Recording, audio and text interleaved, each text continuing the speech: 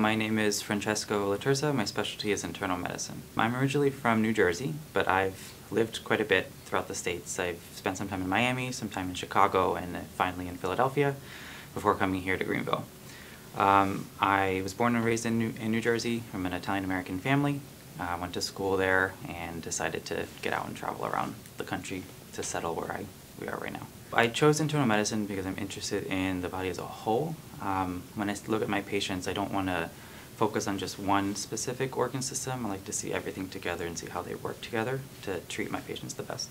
What keeps, keeps me most interested in my work is are definitely my patients and connecting with them. Um, I find it almost it's uh, fulfilling to come and meet someone who don't doesn't even know me and I can get to know them in a pretty intimate way and try to help them improve their lives and their health.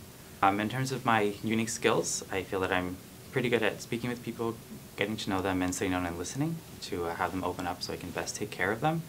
In terms of interests in term in my specialty, um, I'm interested in critical care, um, high acuity care, and inpatient hospital care, as well as LGBTQ care.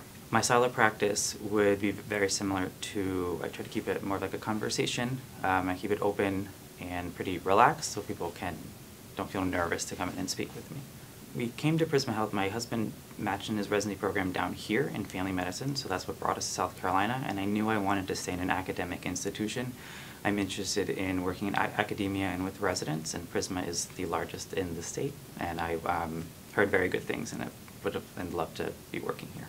So outside of healthcare, I like to cook. I like to go on hikes and run um, and exercise primarily. Um, anytime I can spend with my dog, is a great time for me and reading, of course, as well.